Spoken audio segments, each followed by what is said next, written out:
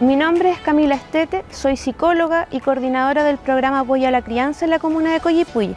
Ser padre y madre puede ser una experiencia muy gratificante y agradable, pero eso no quiere decir que muchas veces eh, sea demandante o frustrante.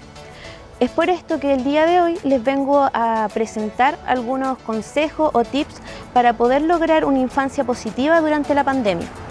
Tips número uno, asegúrale a tu niño o niña que tu familia es tu prioridad.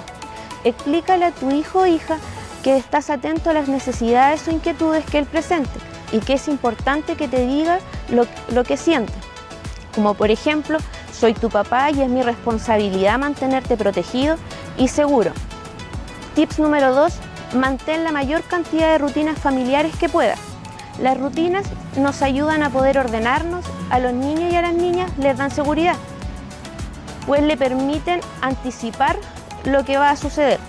Por esto es bueno mantener algunas actividades planificadas, como por ejemplo mantener los horarios para las comidas, un horario para levantarse o para acostarse.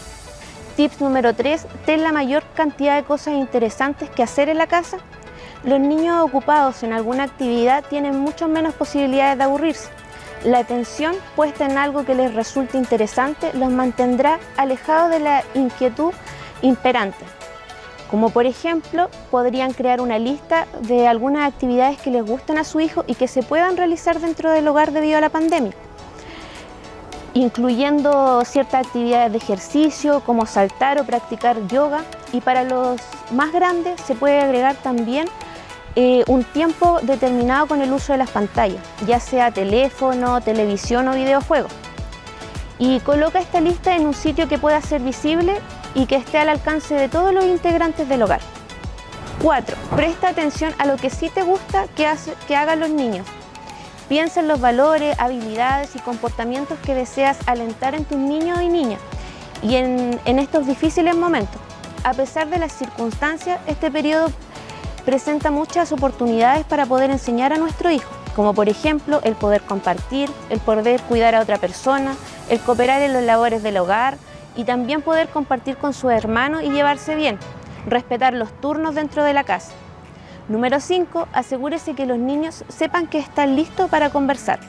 Los niños necesitan hablar con sus padres, su madre o cuidadores acerca de sus preocupaciones e inquietudes. Cuando se acerquen para conversar con ustedes, háganlos sentir que los están escuchando y dejen de hacer lo que estén haciendo en ese momento. Ayuda a las niñas y niños a aprender a tolerar la incertidumbre. La crisis del COVID-19 ha generado mucha incertidumbre. Como padre, madre o cuidadora, necesitamos encontrar la manera de aceptar esta incertidumbre para luego poder demostrar aceptación a nuestros hijos o hijas a través de acciones y palabras, como por ejemplo, no sabemos cuándo va a terminar esto, sé que es difícil y no lo tenemos claro, pero recuerda que estamos haciendo todo lo posible para mantenernos sanos y seguros y que todo el país está trabajando en este problema. Esto en muchas ocasiones va a dejar mucho más tranquilo a nuestro hijo o hija. Conéctate con tus seres queridos. El distanciamiento social que nos impone la emergencia sanitaria no significa que tengamos que pasar por todo este proceso solos. Si tienes la posibilidad, aprovecha la tecnología a través del celular, las aplicaciones de videoconferencia y las redes sociales para mantenerte en contacto con tu familia, con tus amigos y seres queridos. Ofrece ayuda a quienes estén en dificultades o tengan necesidades especiales, como los adultos mayores y personas en situación de discapacidad.